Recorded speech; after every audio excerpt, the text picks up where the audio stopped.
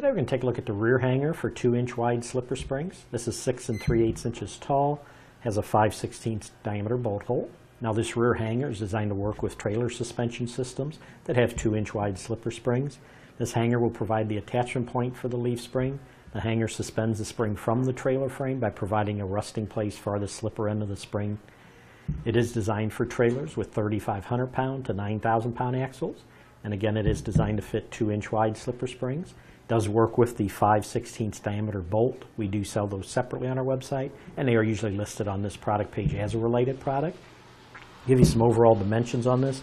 The overall height from the very bottom to the very top is going to be right at 7 inches.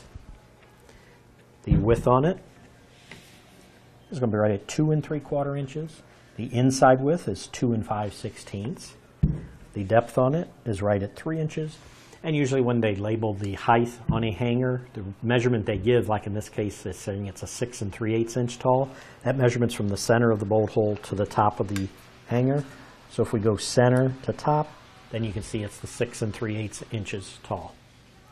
But that should do it for the review on the rear hanger for 2 inch wide slipper springs, 6 and 3 8 inches tall with the 5 16 diameter bolt hole. Click the link below to shop, learn more, or visit us at eTrailer.com.